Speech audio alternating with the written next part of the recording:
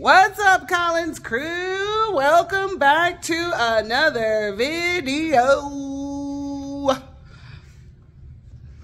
So today we're going to um we're going to we're going to two grocery stores and we're going to go in their international section. Yeah. And we are going to see what are the prices like? Is this what you would pay in Britain? Are the prices the same? Are the prices different? Are we getting ripped off here in the States when we buy your stuff from uh, across the pond? Or is it pretty similar? And what items do they have to offer?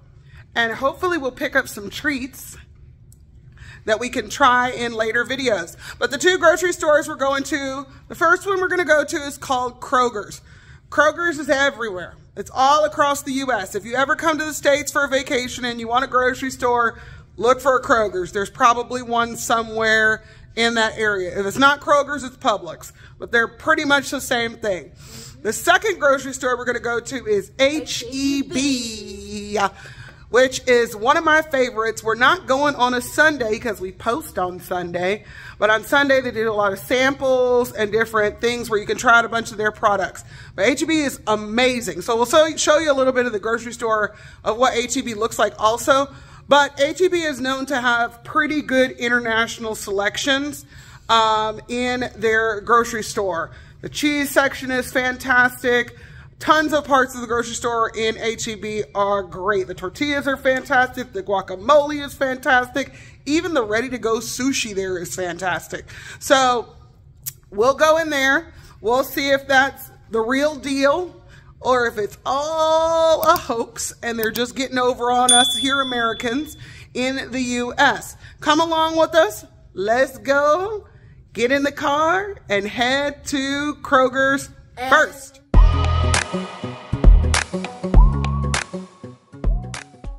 All right, so we've made it out to our local Kroger's. So Kroger's, like I said, is a pretty large chain here in the US and we're gonna check it out and see what the international section may have to offer.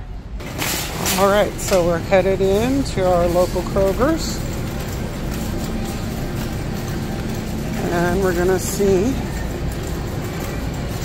if they have what we want. Like I said, there's typical grocery store. At least I think it's typical of what a grocery store looks like here in the US. But we're gonna see what their British section looks like as we go around the grocery store to see if they have as good of things as what you guys expect or would see.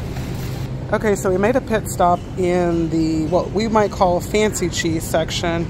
And Macy found what? I found England cheese. Stilton. Uh -huh. White Stilton with apricot. And then they have this Australian cheese. What? It's Australian. Mm -hmm. Australia. Oh, it says it's Australian. I guess okay. technically in like the all the Oh yeah, because it does. It says it says England, UK, UK Ireland. Oh, here's another one. Another England. England. Here's another one. Some aged cheddar. Then you get around to this section. It's uh, oui, oui, français, français, français, the français cheese. Oh, we're back to England. More Stilton. Is Stilton a popular cheese over there in England? Oh, we have German. All right, we're headed down to the next part of the grocery store and let's see if we can find any other interesting British or England delights. All right, we're gonna check this out because it says it's the international aisle and we're going to see if there's some international treasures down here that Kroger's may have to offer. All right, guys, so we found the British section here in Kroger's. They have a huge selection of wine gums. We did try these in the in the U.S. at $6.49. So I don't know if that's a good price or a bad price, but it's for 8.8 ounces, so that's a lot in there. Uh, and it says traditional British sweets. So we do see that in here. Uh, the section is very, very small in Kroger's. Um, the cheeses, you definitely had more here. Uh, we did try these as well. The cream crackers, they're $3.49. They have one single solitary Aero chocolate bar, which is $1.49. And then... They have Marmite. Marmite. How much was the Marmite? Um, the Marmite is... Oh, um, Marmite... Uh, it's right here, but it doesn't yeah, say seven forty nine. Oh, seven forty nine. And then I think I've heard you guys talk about salad cream before, and that's seven ninety nine. They have the HP sauce for eight ninety nine. I'm not sure what a cracked green olive is, or if this is British at all. It may be, it may not be, but I've never heard and or seen it. I do see some Irn-Brus down here hanging out, and they are two nineteen but it's not a ton. So if you see anything that we're not really used to seeing or you know something that maybe we're missing out on, oh, there's the Yorkshire pudding mix. Does this stuff really work, guys? We want to try to make toad in a hole. I know that's something, they, I can't find it where they sell it at a restaurant here in Houston, but I would love to make it. Is this good or should I skip it and not buy that? And then original custard powder. Not really sure what that is. Oh, well, it's definitely British because it says on the hob. And we don't call that that. We call it the stovetop. And then I've heard of Colman's mustard from you guys, and that's $3.49. And this is super cute. Don't know what kind of mustard this is. But it's hot German mustard, looks like. Super cute. Mm-hmm. And then up here, it says assortment of wafers. Oh, this one, sorry, assortment of wafers. This one says it's made in Germany. This one is also, I guess, a German brand. So I think this section right here is basically just a mix of British and German treats all mixed together. But if we missed something that we definitely should try, you guys let us know down in the comments because we know you love to comment. But yeah, this is the only section. And I'm going to show you how big this aisle is for this to be the only section of where you can get a few items that are British. The entire aisle goes way. Macy's running back. Macy's running back way back there. And that's all they got in this entire grocery store that is British. All right, let's go over to HEB and see what they have there.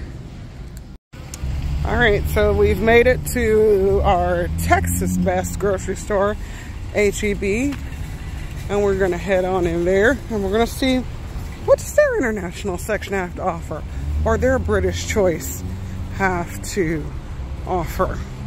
Maybe you guys can leave some comments. Is our grocery store even close to what your grocery store normally looks like? Or do American grocery stores look completely different than what you're used to in British grocery stores from what we show you guys as little glimpses of the grocery store. All right, we're headed in. Of course, yes, the U.S. We're going to put a flag probably everywhere you can stick one or think about sticking one.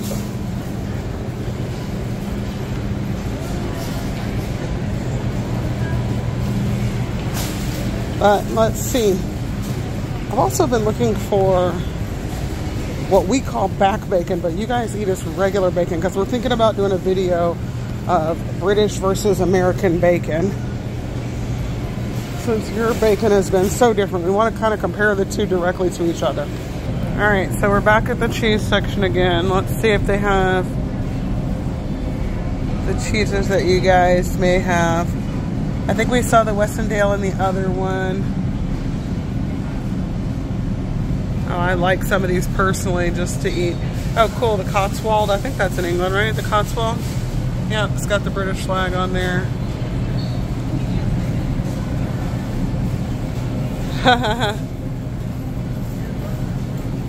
Wexford Barber's Vintage Reserve Cheddar. These are such small blocks of cheese for us for Americans. I'm going to show you the, the cheese section where Americans mostly buy cheese. But if you ever say, do we have what, what again, like we would call fancy cheese. Yes, of course we do. And this is where that would be. There's some more over here. Traditional Gouda. Ooh, smoked Gouda jalapeno. I bet that's delicious. And then your prepackaged deli stuff that you can get. Um, not sure if y'all get that like that, but we can get it. I usually put these in my fridge at work because I love that. Ooh, Mace, we've never tried this one. Buffalo wing hot sauce. They probably like cheddar cheese. That's an American for you. Take something that's not normal and make it be something that you love. Yep. But this is also good. We buy these a lot when we have parties. Like the one, boards. yeah, when we make charcuterie boards. We buy those lots. Okay, remember I said I was going to show you guys our cheese. So this is where most Americans come. They skip that whole fancy cheese area and they just come over here. A good Babybel cheese, nice little snack. But all of you that think we just have the orange cheese, wrong, we don't. We have tons of different kinds of cheeses. The American cheese is just what you see mostly on a cheeseburger, but there are other cheeses that exist in the US, contrary to popular belief. And we also, oh, we do sell clotted cream. There it is right there. Didn't know we sold clotted cream, but it's up there. And I, okay, that's new. Double cream, what is that? Guys, remember the British tea video? This is what they put. This is what we put on our scones, and it was real, real good. I, the cottage cream was my favorite. Here's the only cheese you guys think we buy. The American cheese, quote unquote. This is what you think. This is it. This is all you think. But I've just proven you guys wrong in so many ways that we have tons of different types of cheese.